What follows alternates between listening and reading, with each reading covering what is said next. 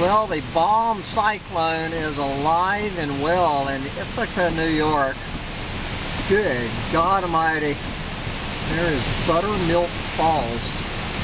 Buttermilk Falls looking like Niagara Falls here on Tuesday, October 26, 2021. Jesus Christ. Uh, anyway, I need to get my ass home and see if the Hambone Hilton is floating down the river. I am putting my flood control channel to the test today. Jesus fucking Christ. Welcome to the new normal here in the end times. My God.